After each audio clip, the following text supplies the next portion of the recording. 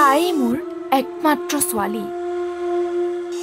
তাইৰ অবিহনে কোনোৱেই নাই মোৰ। এগৰাকী ৰোগীয়া মাতৃৰ হিয়া ভঙা কান্ধোন। প্ৰেমৰ চলনাৰে বহিৰাজ্যলৈ পঠালি নেকি মাইনাক দিক বিদিক হেৰুৱাইছে এগৰাকী ৰোগীয়া মাতৃয়ে। মাতৃৰ কৰোত মিননি মাইনা তুমি ক'ত আছা? সোনকালে ঘৰলৈ উভতি আহা। তোমাৰ ৰোগীয়া মা বৰ দুখত আছে।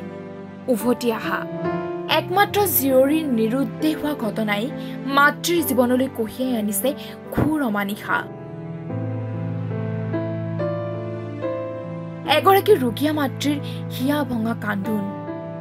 এই ঘটনা সংঘটিত হৈছে বকুৰ দুই নং জামবাৰীৰ আলিকোহ গাঁৱত।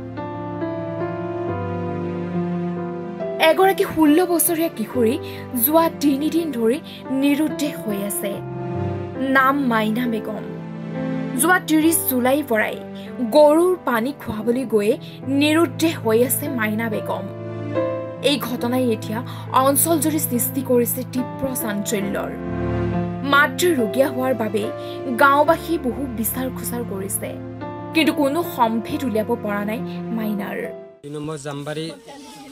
ছয়গাঁও সমষ্টিৰ দুই নম্বৰ জামবাৰী গাঁৱৰ নতুন আলীয়া গাঁৱৰ বক থানাৰ অন্তৰ্গত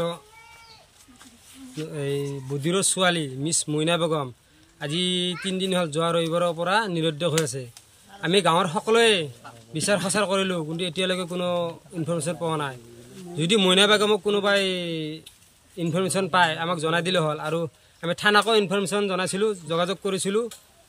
আমি এতিয়ালৈকে এই দুখীয়া ঘৰ যেনে কোনো পৰামৰ্শ পোৱা নাই। গাঁৱৰ মানুহখিনিয়ে দুই তিনিদিনে বিচাৰিলোঁ ছোৱালীজনীক বিচাৰি পোৱা নাই। এতিয়া আমি অৱশেষত পুলিচ প্ৰশাসনত অৱগত কৰিছোঁ। পুলিচ প্ৰশাসনে যাতে আমাৰ দুখীয়া ঘৰৰ ছোৱালীজনীক যাতে সোনকালে বিচাৰি পেলাই ঘৰত আনি দিয়ে। অৱশেষত বকু আৰক্ষী থানাত এজাহাৰ দাখিল কৰিছে পৰিয়ালৰ লোকে। বকুৰ পৰা মণিমালা ডেকাৰ ৰিপৰ্ট টাইম এইট।